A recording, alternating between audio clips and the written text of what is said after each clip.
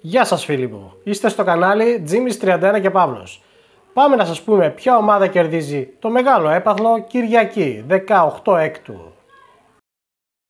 Πριν όμως περάσουμε στο βίντεο φίλοι μου για να έχεις έγκυρα και στην ώρα τους στα spoiler κάντε ένα like και μία εγγραφή. Το Survival All Star ξεκινάει Κυριακή 18 έκτου με νέο επεισόδιο. Κάθε εβδομάδα θα έχουμε τη διαδικασία για σχηματισμό ομάδων για την διεκδίκηση των επάθλων.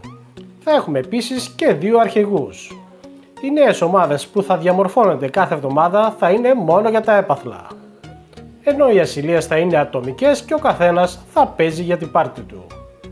Την Κυριακή όμως έχουμε αγώνισμα επάθλου. Ποια ομάδα θα τα καταφέρει να την κερδίσει, νέα κόκκινη ή νέα μπλε, πάμε να σας πούμε.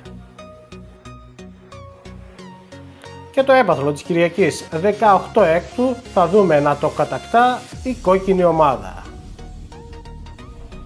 Άρα φίλοι μου, η νέα κόκκινη ομάδα είναι αυτή που κατακτά το πρώτο έπαθλο. Αν σας άρεσε και αυτό το βίντεο φίλοι μου, μην ξεχνάτε να κάνετε ένα like και μία εγγραφή και εμείς τα λέμε σε επόμενο βίντεο. Γεια σας!